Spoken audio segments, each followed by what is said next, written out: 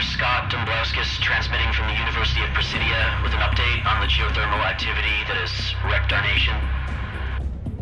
As we've learned, the Ring of Fire as a whole has erupted in varying degrees of disaster throughout, so we Cascadians alone are not bearing the sole brunt of this reprise of the calamity. That being said, as we are at the epicenter, we have had the worst of it. That time is over now. Cordium reactivity is down to normal ambient levels in all but the most concentrated areas, and so we can expect a cessation of geothermal storms and tectonic disturbances. I advise high caution to any who would dare move from shelter or travel in affected areas. But for the most part, the natural dangers that remain will be a great deal less of an issue compared to the destructive effects from the loss of infrastructure and ongoing wildfires. However, rest assured, it's not going to get any worse. Well, that's the word from the professor himself. Hitman, the damage this disaster did on us is not to be understated, especially on our Air Force. We're not the only ones operating out of a highway right now, and we're lucky. You're not even a full squadron. That being said, you're the most combat capable right now, and in order to rectify that, we're returning to Prospero. With as big as it is, even while damaged, it'll still serve as the best operating base for the final operations. We've been able to get in contact with surviving scouts in order to scope out Prospero, and as far as we can tell, it is now abandoned ever since this calamity took hold. With residual effects subsiding, now is the time to pick up where we left off. Hitman team, move into the airspace above Prospero and maintain air superiority as we move manpower and equipment in. Initial recon denotes that there is nothing in the way of any Federation ground forces in the surrounding areas or on site so the biggest threat will come from the air. Equip your planes appropriately, wheels up in the hour.